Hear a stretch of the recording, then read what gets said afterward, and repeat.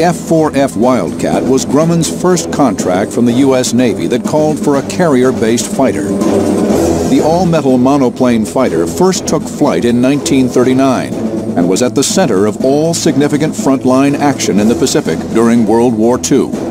The Wildcat with its 650 cal machine guns is pretty impressive firepower for a fighter of that day.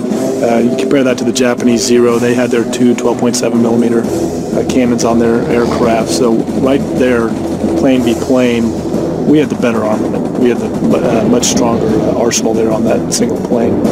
On February 20th, 1942, Lieutenant Edward Butch O'Hare became the U.S. Navy's first ace of World War II when he flew a Wildcat and shot down five enemy bombers in five minutes near Rabaul.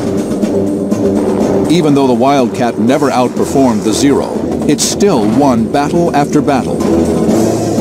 Wildcat, of course, uh, was a particular favorite aircraft of mine for the simple reason that uh, it was a rugged airplane, beautifully designed, well built, could take a lot of punishment.